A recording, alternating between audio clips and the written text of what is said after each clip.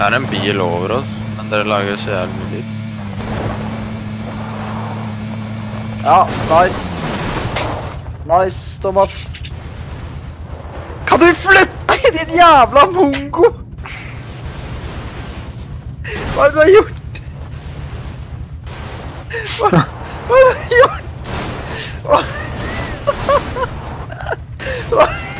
Stå helt i ro, stå helt i ro.